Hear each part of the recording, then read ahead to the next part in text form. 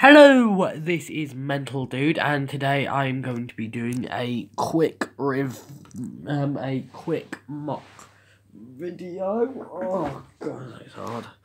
Um, I've got a few things to show you, so starting off with this, I actually really like it. See, it's basically a guy escaping a cop, but they're like climbing over it. I like the um yellow, and I like the fact that it says keep out.